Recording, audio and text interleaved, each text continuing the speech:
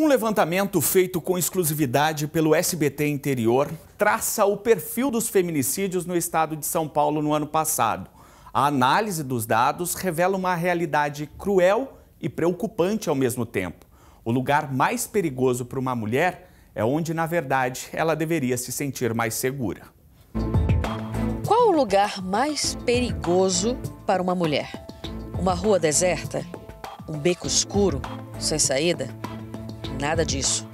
O lugar mais perigoso para uma mulher é dentro da própria casa. A conclusão veio a partir de um levantamento inédito feito pela produção do SBT Interior, que contou com duas fontes de informações: a da Secretaria de Segurança do Estado de São Paulo e cada uma das reportagens sobre os casos registrados pela estatística. Com todas essas informações, foi possível responder a três perguntas: qual o perfil das mulheres mortas. Como essas mulheres foram mortas? E quem são os homens que matam no estado de São Paulo? Para começar, um número chama a atenção: o aumento dos casos de feminicídio no estado. Foram 183 casos, 35% a mais do que no ano anterior, quando foram registrados 134 casos.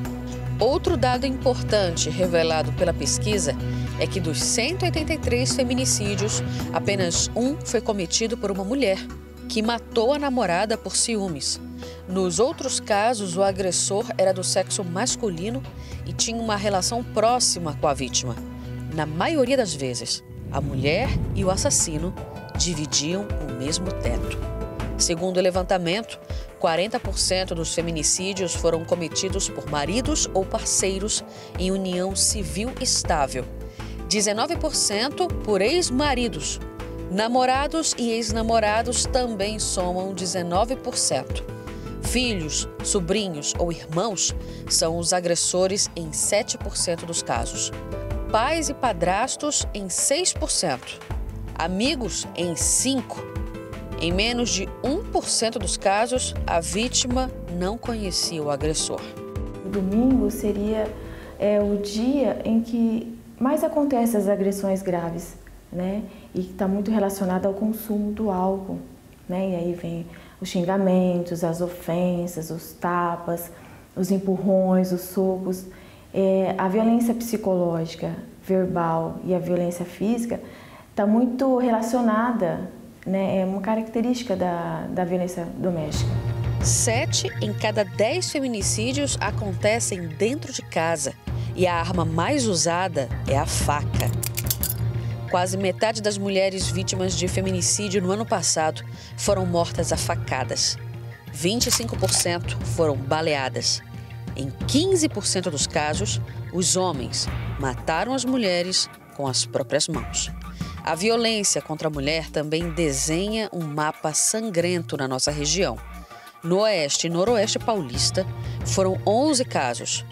Um dos que mais chamou a atenção foi a morte da enfermeira Juliana Ladim Simão, de 37 anos, estrangulada pelo marido, de quem estava se separando. Ao lado do corpo, ele deixou fotos do casamento. O acusado tentou fugir, mas foi preso. Identificar e punir um autor de feminicídio não é problema da polícia. Em todos os 183 casos de feminicídios praticados no estado no ano passado, o autor foi identificado. Na maioria absoluta dos casos, ele já está preso. O grande desafio, no entanto, é evitar que esse crime aconteça. Por isso, as mulheres contam com um mecanismo de defesa que, apesar das falhas, ainda é a melhor opção a medida protetiva. Ainda de acordo com o levantamento do SBT Interior, na maioria dos feminicídios em que o casal já estava separado, havia medida protetiva contra o agressor.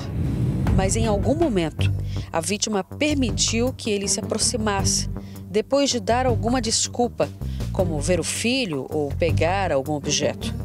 Isso significa que a mulher, em algum momento, baixou a guarda os homens às vezes passam um mês, né? Eles dão aquele, eles vão, ah, vou mandar uma mensagem, ah, eu vou ligar, ah, eu vou passar lá para ver meus filhos, e aí ele acaba descumprindo e é muito comum.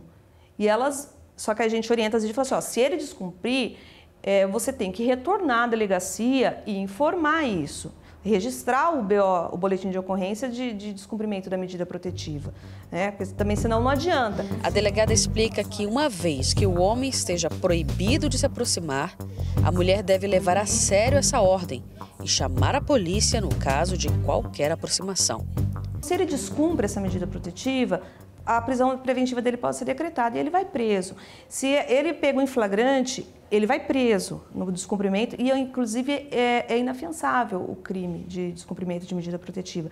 Então, tudo isso acaba inibindo e acaba, às vezes, até prevenindo. Por exemplo, se a vítima está na casa dela, ela vê que ele chegou, ela pode acionar a polícia, ela tranca a casa e, e nesse meio tempo, a gente consegue prendê-lo. Para muitas mulheres, a medida protetiva é a última alternativa, depois de diversas tentativas de quebrar o ciclo da violência. Mas quem vive esse pesadelo não precisa lutar sozinha. Além das delegacias de defesa da mulher, uma rede de apoio às vítimas vem sendo formada aos poucos. Um desses instrumentos é o Centro de Referência da Mulher.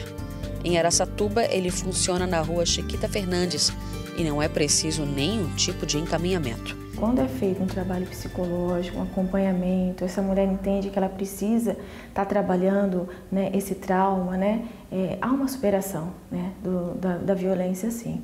Né, ela consegue levar uma vida, ela consegue adquirir uma autonomia financeira, né, ela consegue é, reerguer a autoestima dela, né, uma autovalorização, que é muito importante isso também.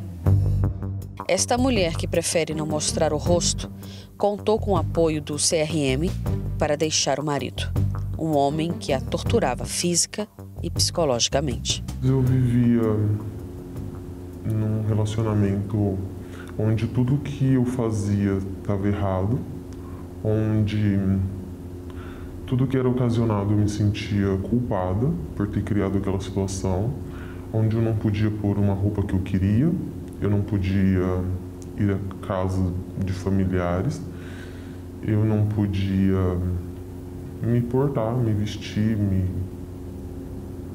fazer o que eu queria, conversar com pessoas que eu queria.